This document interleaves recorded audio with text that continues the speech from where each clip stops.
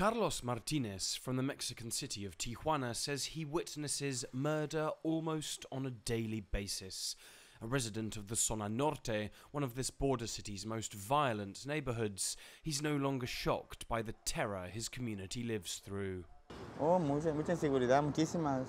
There's a lot of crime murders, shootings, kidnappings, extortion.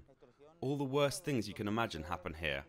There's a big demand for drugs, and the cartels fight over the territory where they sell. There are more deaths today than during the Mexican Revolution. It's just part of normal life for us. Que la revolución. Now 33 years old, Carlos can't remember his neighborhood being any other way. This neighborhood, Tijuana's Zona Norte, is among the most dangerous places in all of North America. Its lethal mixture of desperate migrants, prostitution, deportees, drug addiction, and organized crime playing out in violent terms along the US border in a region where 96% of crimes go unsolved. That impunity, says Carlos, has a lot to do with no one wanting to stand up to the cartels. Pues vivan, pues, si ven una cosa, pues, When we see violent crime, we just ignore it. We don't want problems. If the gangsters found out you reported a crime, they'll punish you. They'll burn your hands, cut out your tongue, or decapitate you. Why would you want that?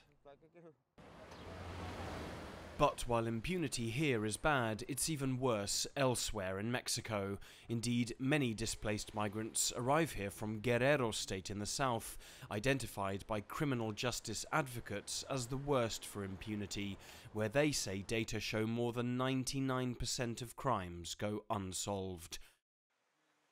Mexico's country-wide rate for solving crimes, according to the NGO Zero Impunity, just 1.3%. Juan Manuel Hernandez, the president of the Baja California Security Council, says politicians at all levels are failing and need to step up.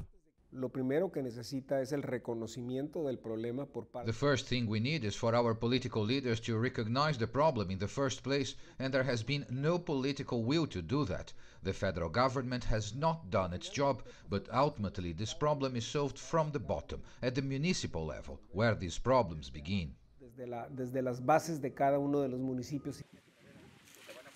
With violent crime a fact of daily life in parts of Mexico, the desire by some here to cross to the other side of this border by any means necessary only grows.